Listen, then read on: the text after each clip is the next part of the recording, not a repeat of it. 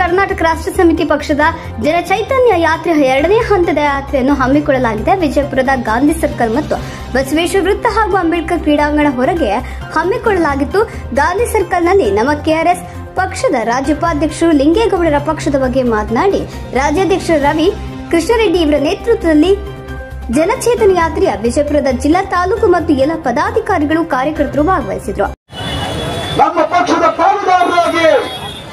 ನಾವು ತಪ್ಪು ಮಾಡಿದಾಗ ನಮ್ಮ ಕಟ್ಟುಪಟ್ಟೆಯನ್ನು ಹೇಳುವ ಕೇಳಿ. ನಾವು ನಿಮಗೆ ಜೈಲಿಗೆ ಕೊಟ್ಟಿದ್ದೀವಿ. ನೀವು ಏನ್ ಕೆಲಸ ಮಾಡ್ತಾ ಇದ್ದೀರಾ ಅಂತ. ನಾವು ಇಲ್ಲಿವರೆಗೂ ಪಡೆದಿರುವಂತಹ ದೇವಿಗೆ ಬಹಳ ಕಡಿಮೆ. ಒಂದು ರೀತಿಯಲ್ಲಿ. ಆದ್ರೆ ಆ ದೇವಿಗೆ ಕೊಟ್ಟಂತ ಪುಣ್ಯಾತ್ಮರ ನಂಬಿಕೆಯ ಕಾರಣಕ್ಕೆ ಕರ್ನಾಟಕ ರಾಜ್ಯ ಸಮಿತಿ ಪಕ್ಷ ಅದೇ ಹಣವನ್ನ ದೊಡ್ಡ ರೀತಿಯಲ್ಲಿ, ಸರಿಯಾದ ರೀತಿಯಲ್ಲಿ ಬಳಸಿ ಇವತ್ತು ರಾಜ್ಯದಲ್ಲಿ ಸರ್ಕಾರಿ ಅಧಿಕಾರಿಗಳು, ರಾಜಕಾರಣಿಗಳ ಎದುರಲ್ಲಿ ಕಂಪನವನ್ನ ಹುಟ್ಟಿಸಿದೆ. ಇವತ್ತಿಗೂ ಸಾವಿರಾರು ಜನ ಪ್ರತಿನಿತ್ಯ ಕೆಆರ್ಎಸ್ ಪಕ್ಷದ ಹೆಸರನ್ನು ಹೇಳಿ ಲಂಚ ರುಷಿವತ್ತು ಕೊಡದೇ ಕೆಲಸ ಮಾಡಿಸಿಕೊಳ್ಳುವಂತಹ ಸ್ಥಿತಿ ಇವತ್ತು ನಿರ್ಮಾಣ ಆಗಿದೆ.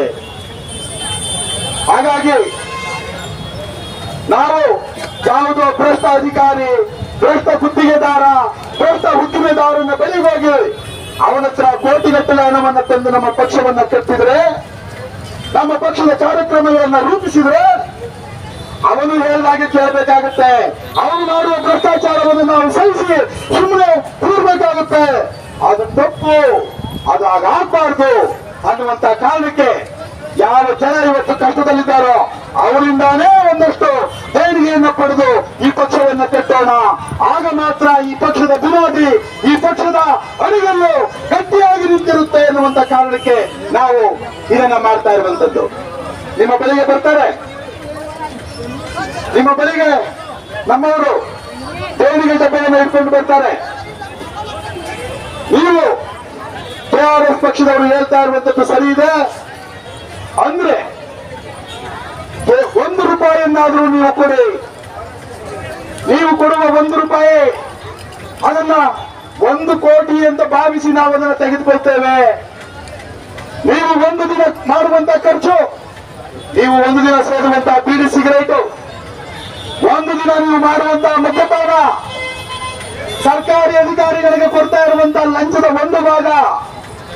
ದೇವಸ್ಥಾನಕ್ಕೆ ಹೋಗಿ ನಮ್ಮ ಮಕ್ಕಳು ಮರಿಗಳಿಗೆ ಒಳ್ಳೆಯದಾಗಲಿ ಅಂತ ಹೇಳಿ ನೀವು ಏನು ಕಾಣಿಕೆ ಹಬ್ಬಕ್ಕಾಗ್ತಾ ಇದ್ರಿ ಹುಂಡಿಗೆ ಆಗ್ತಾ ಇದ್ರಿ ಅದರಲ್ಲೇ ಒಂದು ಭಾಗ. ಶಿಸ್ತನ್ನ ಈ ರಾಜ್ಯದಲ್ಲಿ ಒಂದು ವರ್ಷಕ್ಕೆ ಈ ರಾಜ್ಯದ ಬಜೆಟ್ ಈ ಎರಡ್ ಸಾವಿರದ ಇಪ್ಪತ್ತೆರಡು ಇಪ್ಪತ್ತ್ ಮೂರರ ಬಜೆಟ್